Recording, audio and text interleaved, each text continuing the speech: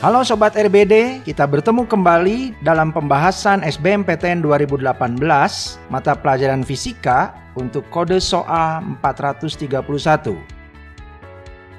Nomor 20.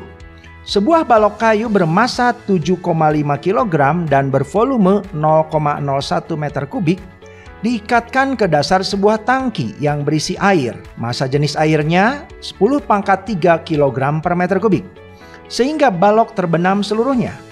Besar tegangan talinya adalah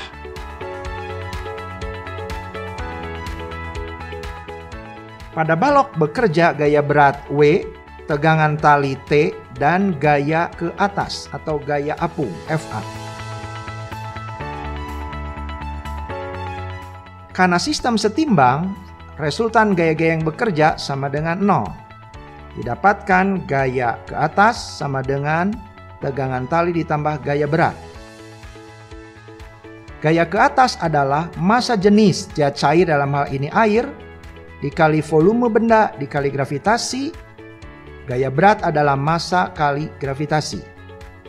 Rho air 1000, volume benda 0,01 dan percepatan gravitasi 10, massa benda 7,5 dikali 10 Didapatkan 100 dikurang 75, tegangan tali adalah 25 Newton.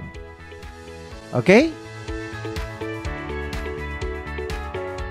Jawabannya adalah B. Mudah bukan? Sampai bertemu lagi di video pembahasan berikutnya. Jangan lupa like, subscribe, dan komen ya. Salam Yes I Can.